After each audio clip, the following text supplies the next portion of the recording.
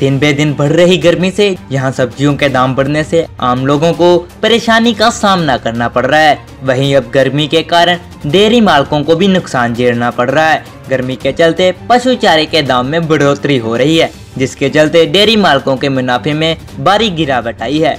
चारे के दामों में बढ़ोतरी का दूसरा सबसे बड़ा कारण है कि किसानों द्वारा गेहूँ की फ़सल की नाड़ को जलाए जाना। जानकारों की माने तो पिछले समय में चारे का दाम दो रुपए प्रति किलो था।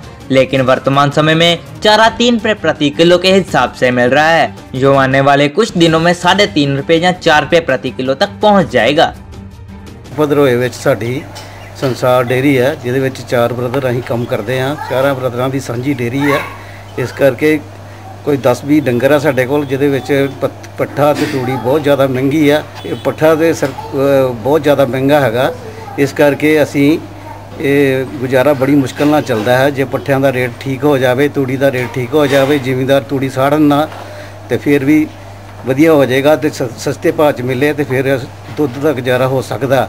ਪਠਾਨਕੋਟ ਸੇ ਕਵਲ ਰੰਦਾਵਾ ਜੀਵੇ ਪੰਜਾਬ ਕੇ ਲਈ